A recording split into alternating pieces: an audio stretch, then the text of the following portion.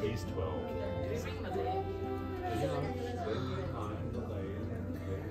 They don't, they don't live us now, they live with their actual mother.